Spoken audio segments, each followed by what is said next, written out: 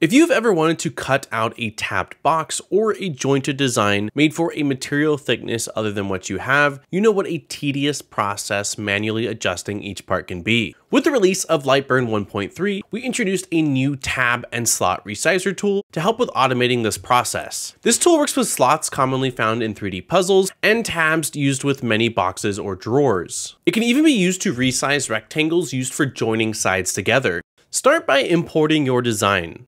You will need to know the lengths of the lines you are wanting to adjust.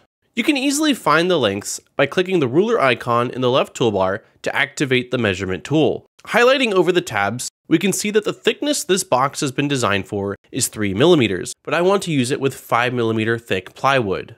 Back in selection mode, click on the shapes that you want to resize. If you have shapes that are grouped together, you will need to ungroup them by clicking on the ungroup icon in the top toolbar. Next, click on the Tools drop-down menu and select Resize Slots in Selection to open the Resize dialog window. In this window, we will enter in the line size that we are wanting to adjust in the old material thickness text box. In my case, I measured the tabs as being 3mm in depth, so I will enter 3. This tool will scan our selected shapes, looking for lines that match that value. We can see the lines that it has detected highlighted in red. The lines that will be moving are highlighted in blue with an arrow to show the direction of the move based on our current input.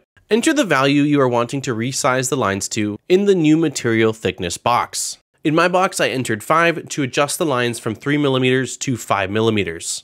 If there is a slight variance in the length of the lines you are wanting to adjust, you can add a tolerance value to accommodate this. We are able to adjust slot depth, slot width, or tab height. Toggling through these options will update the guides so we can quickly see what will be resized.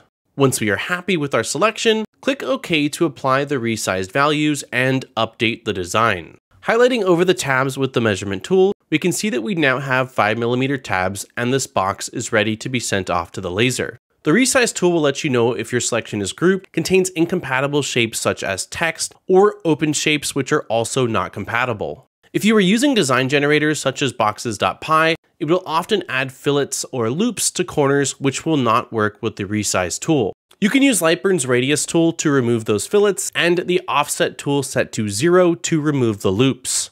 Be sure to subscribe for more great videos.